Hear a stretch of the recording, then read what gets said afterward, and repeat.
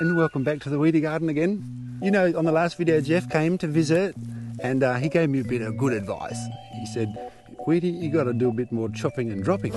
So, on this video, I'm going to give my food forest a makeover. When I when I first started my food forest, I planted lots of trees, lots of fruit trees and lots of support trees. This is going to be so happy to get in the ground. And you know, I thought, you beauty, job done. But that was only the beginning. Having a food forest is like having a beard. If you let it go, it's going to cover your whole body. So you've got to kind of keep on top of things. And Jeff was kind to tell me that I actually need to do a bit more chopping and dropping because these trees, these are the nitrogen fixes. I think I'll start with just taking this one out. If we just, there's a special method. What you have to do is you warm your hands up a little bit like that and then you've got to go while they're hot, while your hands are hot. Ah, that's good. I think we need to do this a little bit. Ah, that's better. If you can't do that, or if you're not quite sure how that little trick works, then you can just get yourself some clippers and some trimmers and a little saw, and um, it'll do the job as well. See, this support tree is actually supporting this little Brazilian cherry tree. So if there's too much if there's too much shade here, my little cherry tree is not going to not going to grow at all. So that's going to open up the sunlight into that. And I think what I'll do is I'll just take these little ones off the side so we get a bit of height on it. Alrighty, little cherry tree. And um, I've put a bit of comfrey around the bottom. Okay, so that's given that area a bit of space as well. Let's go down and see if we can make some nice biological umbrellas. The Bauhinia is down here next to the custard apple. See, I remember Jeff standing here telling me what I've got to do with this one. There's a lot of chop drop you can do in here. Yeah, as they Crazy. regrow, manage the regrowth so that nothing's on the lower stem, everything's coming from the top. Okay. And then you've got a more convenient chop every year. Oh, I see. Okay. And, and you know, then we've got clear maintenance underneath. Okay. We'll get stuck into this Bauhinia now. So let me explain again why we have support trees. See, in the leaves, this green. Greenery here is nitrogen. Okay? So instead of going to buy nitrogen, I just put some nitrogen in the form of these leaves. So when you when you chop a tree like right back, it's called coppice. You coppice the tree.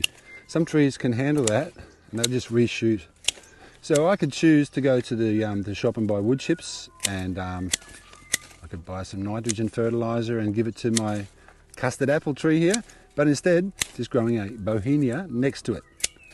And that's all my nitrogen and the, the bigger branches, they're going to get broken down by the fungus and basically turned into food.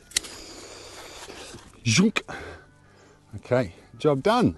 Now time to dismember the pigeon pea.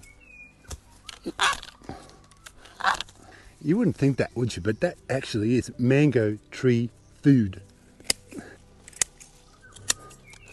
You know, when I've been working in this food forest for a few more years, you'll, you'll see me and I'll have this huge big arm here from and, and this little skinny arm here because I'll be like doing this all the time. See, this is pigeon pea. And pigeon pea is called pigeon pea because the pigeons like to eat it. And we can eat them too. The thing is, they're very labour intensive if you want to. See, there's two little peas in that, see? Two little peas there. Well, that's nice and comfortable now. That's going to decompose nicely and um, it'll keep the moisture in underneath that little mango tree as well. And uh, I know that it's all organic, none of this has been sprayed. So I'm totally certain that my little mango tree is organic. So I think what I'm going to do is I'm going to show you just over here. See? See what's happened there? The bush turkeys have just demolished my cassava bed. I did put some of this wire to try and stop them from doing that. But as you can see, it hasn't really helped at all. So this why I've got the sign here. The critters. I'm going to get rid of all this cassava because it just attracts the bush turkeys. As soon as it's ready, they just eat it and they dig up everywhere to get at it. I'm not going to have any more swales anymore. So if you didn't know how to plant cassava, it's really, really easy. Basically just lay that down in the ground and it'll shoot new cassava shoots up from here and it'll set its roots out here and here and that becomes the cassava root you eat. I will put this here because the cows do like it. I'm going to just keep a little bit of this cassava and I'm going to plant it in a pot and then I can at least have a bit of cassava because I really like cassava pancakes. I'm getting to my wits end with the bush turkeys, everybody. I've tried so many different things. Ow! Ow, that was a jumping ant. Ow, ow, ow. Ow! Beautiful looking earthworms down here. Nice feisty little one there. Oh. Okay. Okay, moving right along. Trying to mimic the um, the, the wind in that. We'll go down into the forest where it's a bit foresty.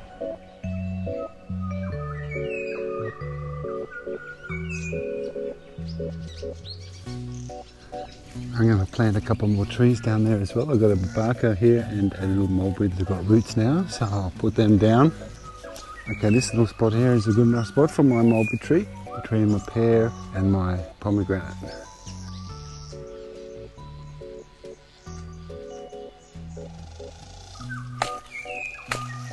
It's nice little roots developing there. So nice and gently. Now go and put a little bit of mulch around that I think as well. I've got my babaco, which I'm going to put down here in the hugelkultur bed. Dig a bit of, bit of a hole here, loosen a bit of the soil, and then I'll chuck my babaco down here. Oh, look at those beautiful roots. Beautiful, that's going to be happy there. I'm going to just go and get the watering can and give that a little water.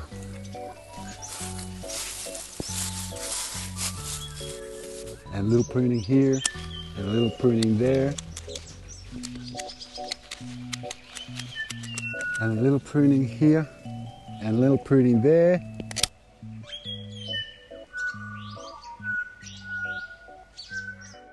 See, in the beginning, I tried to chop the banana pups, but they just kept growing up. Instead of trying to kill the banana pups, I actually use them now and harvest them as my little potassium factory. You can see I put them back on top of the banana pile.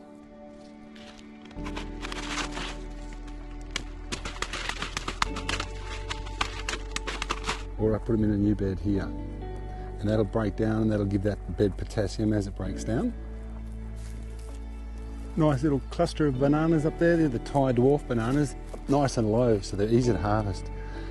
But getting back to the potassium factory, I just basically just keep chopping these off and and feeding it back to, to the mother plants because it's just potassium. I can also feed it to the worms and also I can make a whole banana compost with only banana cuttings, potassium soil which is good for flowering, which is good for fruiting, and which is good for root vegetables.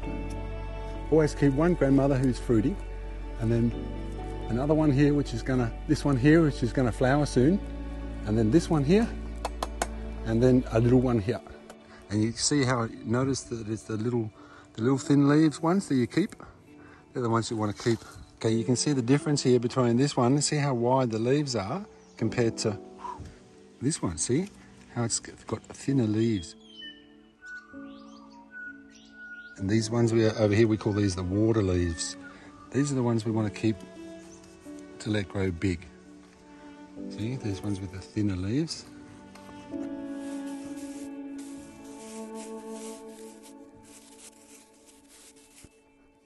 See, this little macadamia tree is not really happy for all this growth, just sitting over it like that. So we're going to take it all away open up the sky.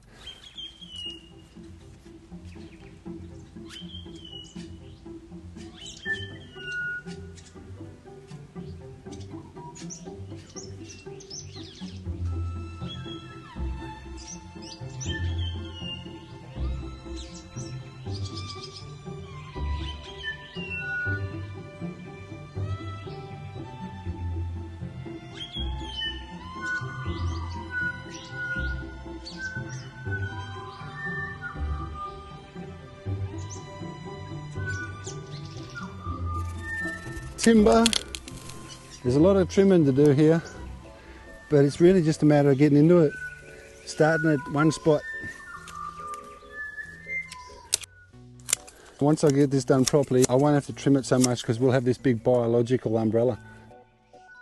Because if I walk around the swales now, I have to bend and, and duck and swerve and weave all, all over the place.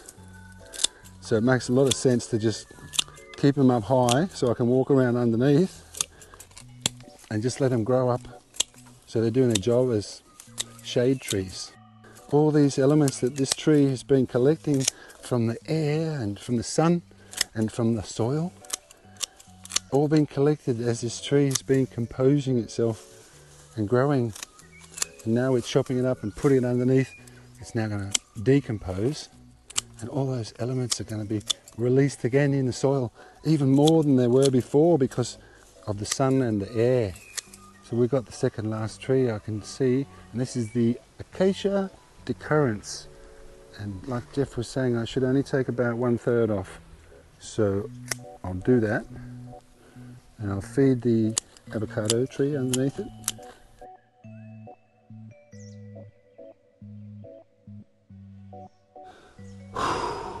Human wood chipper continues.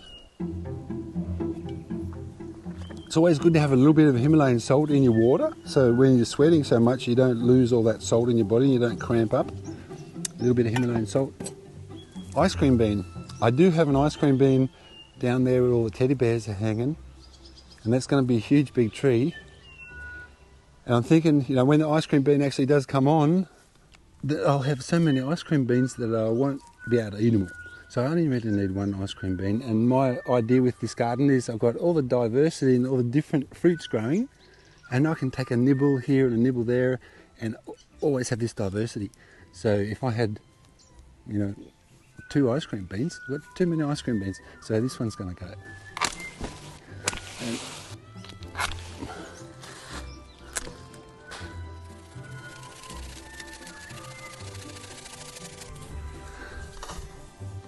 Timber! Yeah, that's it. And uh, we'll just have to chop this one up now. And who, who wants to eat this one? I think I'll give it to the mulberry. Alrighty, time to chop this one down, and that's this one here. This little one here.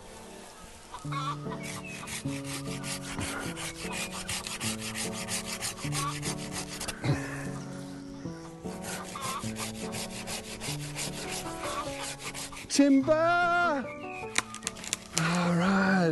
Job's not quite finished yet. Now I've got to just chop this up.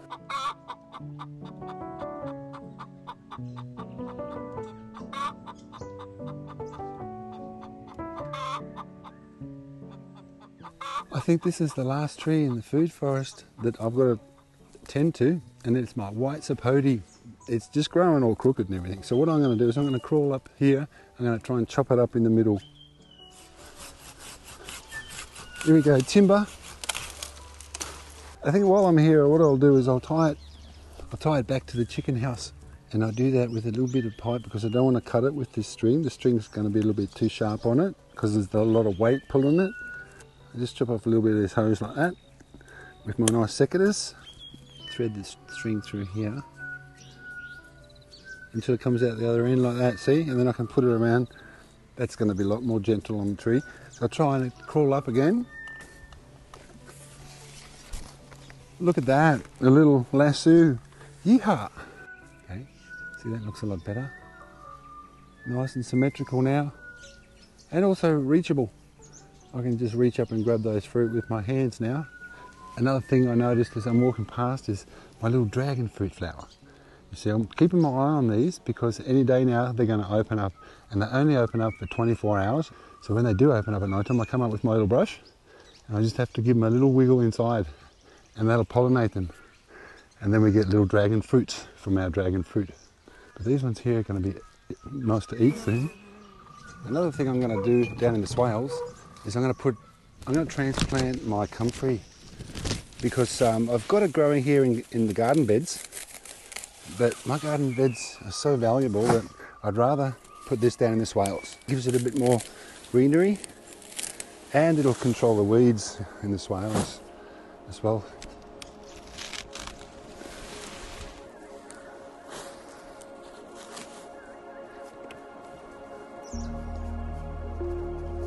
So the plant is flowering now, or it's going to bud, as they call it, and it's time to give it some more potassium.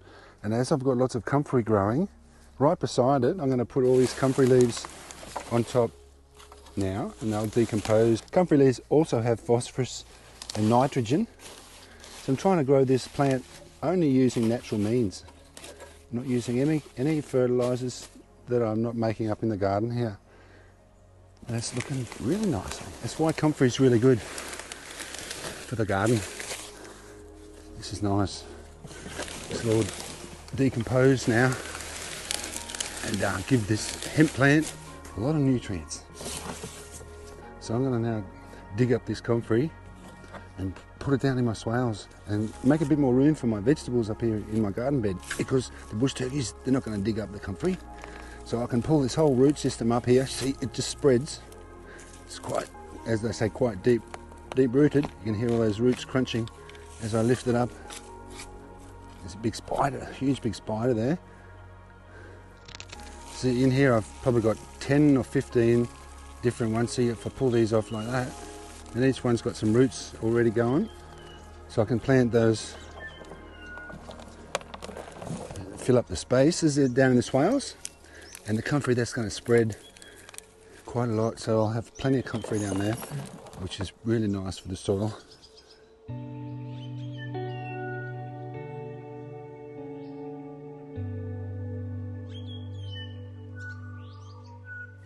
And I'll put the rest of the comfrey that I've got here underneath my tamarillo there's a few falling off the tree here I can see. That means they're ready like this one.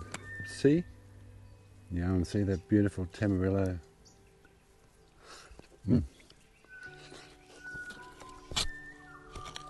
pull that down so I can dig in here nice and deep.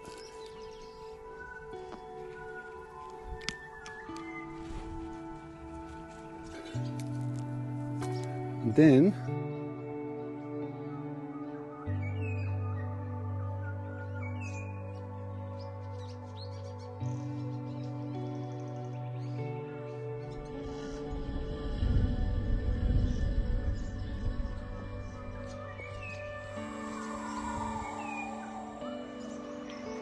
See, this is all bushing up here, so I want to just take all these down so I leave this top canopy here. See, just like that. It's a lot easier getting these off when they're nice and small and green. So I just take all these little ones off here. See, now I've got my little biological umbrella.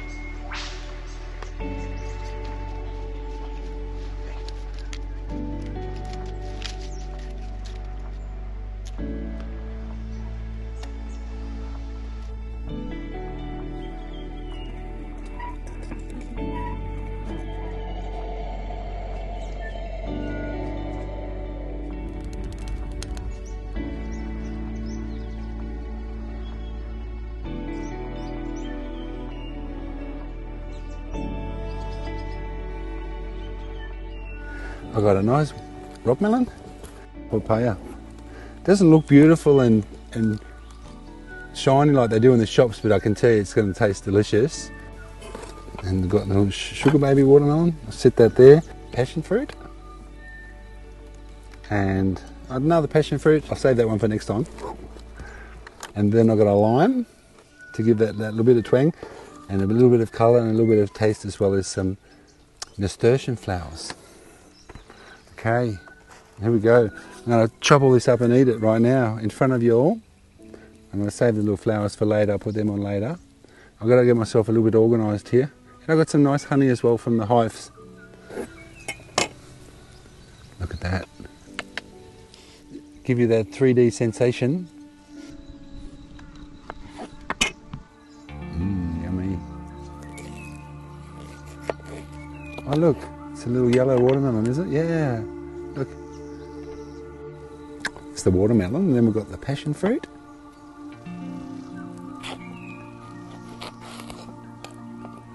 Mm, look at that. It's beautiful. Mm. And I'm going to enjoy my beautiful fruit salad. Beautiful orange one today. They're all different up here in the weedy garden every day is different, every time of year is different, so you never know what colour the fruit salad's going to be like. But they all taste delicious because they're all homegrown and they're all organic. So I know that eating this, I'm closer to reaching my own full potential. And that's what it's all about, isn't it, really? And I just want to say thanks for coming and um, being in the garden with me while I'm doing the chopping and dropping and listening to the, the rantings and ravings of the Weedy Garden adventures and so on. Uh, I really appreciate you watching the channel. And I'm glad that there's some people out there that appreciate how beautiful this is and that one day you'll be able to do it yourself. It's not about getting to the end result, it's about enjoying the journey along the way. Mm. That's the most important thing. Have a nice day, everybody. Thanks for watching.